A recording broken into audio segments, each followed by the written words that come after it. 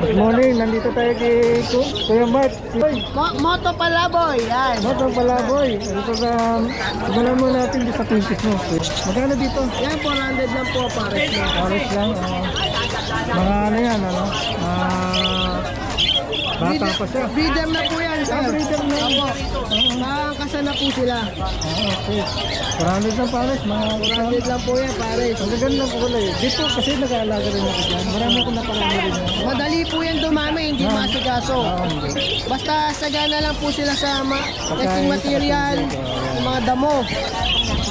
20 lang po, 20. Ayan, Meron din si si Kuya Mark ng ano. Meron po net. tayong pang kalapate, yung mahilig dyan sa kalapate, meron po tayo. Kompleto siya. Mahilig sa kapatin. Magandang ano, quality sa.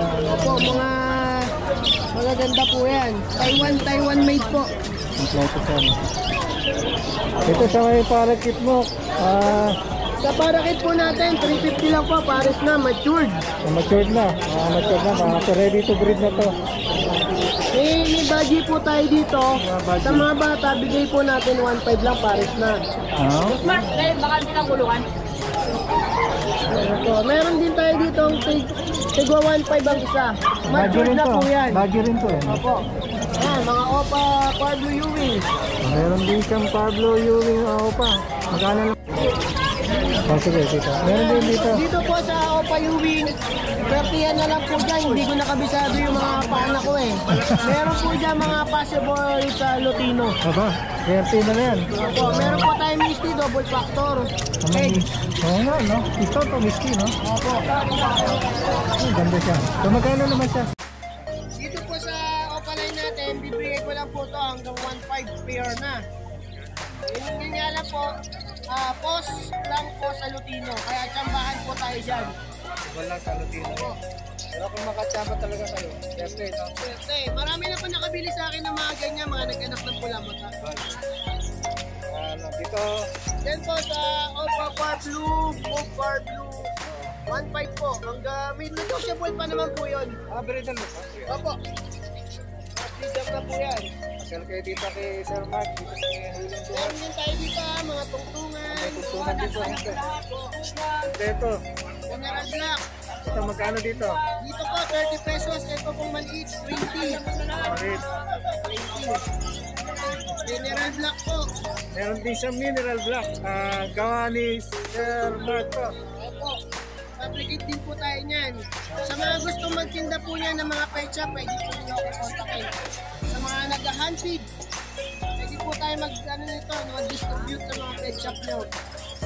Pwede po natin bawasan ng price nito kapag maramihan na. Dito magkano sa maliit? Dito po, ang benta ko po nito ay 70. Dito po ay 150. Ah, 250 grams. 250 grams, 100 grams po ito. 100. Sa mga gusto pong mag avail nito sa tindahan nyo, pwede po sa akin pumunta.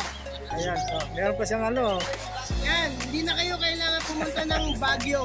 Meron din po tayo niyan. Nagagaling ko lang sa Baguio, eh, kapapamap lang. Yan, murang-mura lang po yan. 100 lang po. Ba, talagang ano na.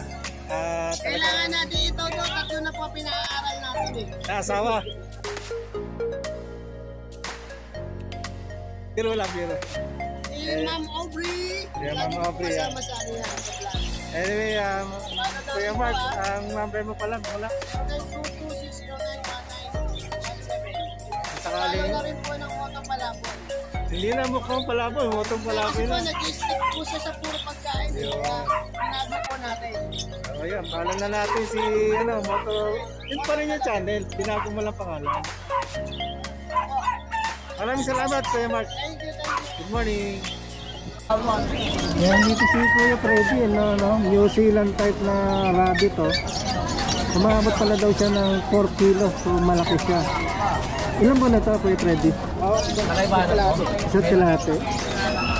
So, ah, magkano siya? Um, 450. Babae talaki na yan sa ano, no? Hmm. Hindi, ibig sabihin, kung babae, para sa lalaki, 450 rin ang price. Ayun. Mga personado niyo po, mga kasama. Nandito si Kuya Freddy sa Unang Duhat. Pag uh, linggo, Sabado, nandito ka, Kuya. Ah, minsan lang. Pari lalaki siya, mga hanggang 4 kilo, no? Ah, marami ka talaga nito? Hindi, dalawa lang. Dalawang babae. Yung talagang pares. House.